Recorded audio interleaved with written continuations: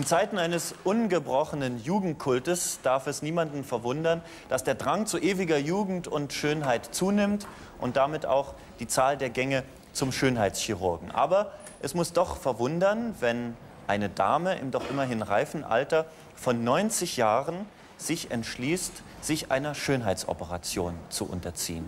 Luise Meyer hat das getan und sie ist hier zusammen mit ihrem Schönheitschirurgen Dr. Edmund Koslowski.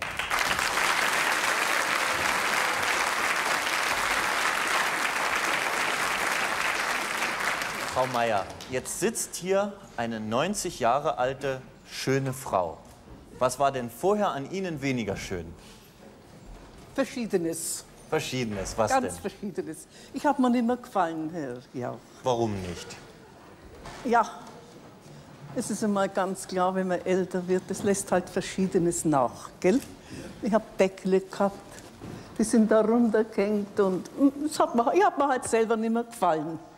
Und dann haben Sie gesagt, so soll das nicht Und jetzt habe ich bleiben. mir gesagt, ja, wenn es auch nur für kurze Zeit ist, aber ich möchte anständig aussehen. Und dann haben Sie gesagt, da kann man ja heute was machen. Kann man, ja. Und warum soll ich das nicht benutzen? Die, wenn ich die Möglichkeit habe, warum soll ich das dann nicht ausnützen? Und was haben Sie dann von wem machen lassen?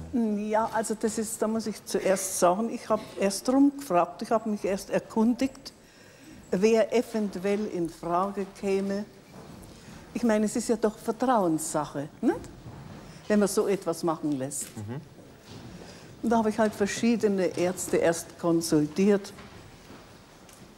Also mein Arzt, mein Hausarzt, der hat mir ja abgeraten. Der hat gesagt, nein, das darf man nicht, das soll man, das ist eben altersbedingt und so weiter und so fort. Und ich habe mir gesagt, nein, ich mag nicht. Ich will es jetzt gerichtet haben.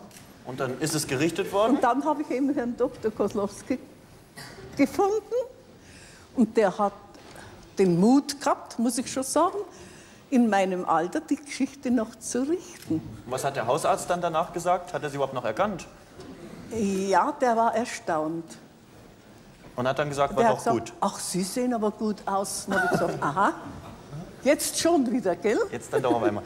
Haben denn Ihre Verwandten und Nein, Bekannten, nichts habe ich nichts gesagt. Das haben Sie nichts ich- gesagt? Nein, nein, das habe ich geheim gehalten für mich. haben die das denn danach gemerkt? Oder Ich bin eigentlich noch gar nicht weiter mit den Leuten zusammengekommen. ja. Also es ist auch nicht so, dass Sie womöglich vorher mal gehört hätten, dass die sagen, Mutter oder Großmutter, das hast du doch nicht nötig, dass du das tust. Ja, das hat mein Arzt gesagt. Der hat mir abgeraten. Er hat hat's gesagt, das nicht. Ja, und dann habe ich mir gesagt, ja, also zum Beispiel, wenn man sagt, es ist altersbedingt, nicht? Das muss man hinnehmen. Dann habe ich mir gesagt, ja, Rheuma ist ja schließlich auch altersbedingt. Rheuma wird ja auch von den Ärzten behandelt und bekämpft. Ebenso Kreislaufstörungen oder Bluthochdruck, nicht?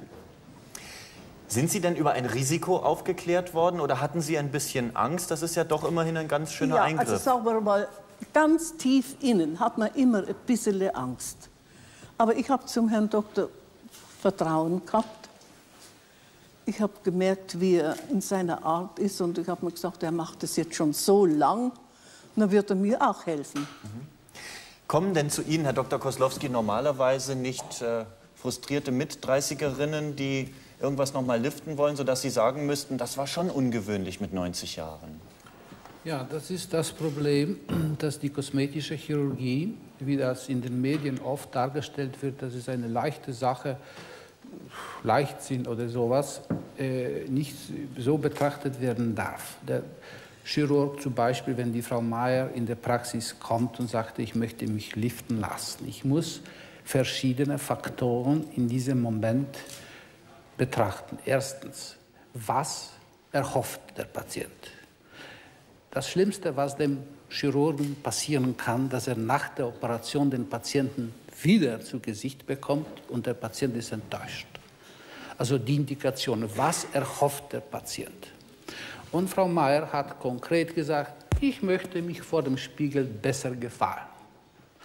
Von der Art, wie sie das dargestellt hat und nach dem Gesundheitszeugnis von seinem Arzt und anhand von meinen in meiner Klinik Untersuchungen haben wir festgestellt, dass das Geburtsdatum von Frau Mayer entspricht nicht 90. Ich habe in meiner Praxis Patienten gehabt, die waren 60, aber waren geistig älter als Frau Mayer.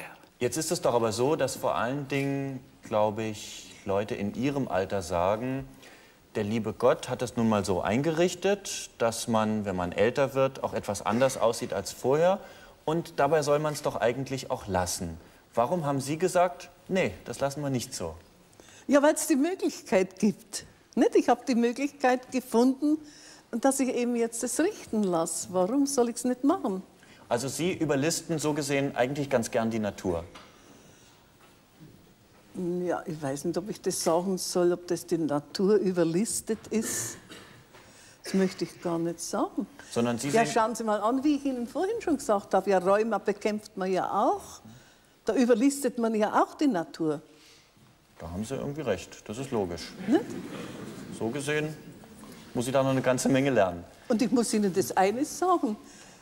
Wenn ich wieder vor der Frage stehen würde, ich würde es noch einmal machen. Wie lange glauben Sie denn, dass Ihnen das jetzt so reicht? Weil ich meine, wenn Sie jetzt Ach, ich 100, bin- 110, 120 werden, da wer- werden sich ja noch ein paar andere Dinge einstellen, wo Sie sagen werden, ach, das gefällt mir nicht mehr so. Dann mache ich es wieder. Machen Sie es wieder. Also insofern hat...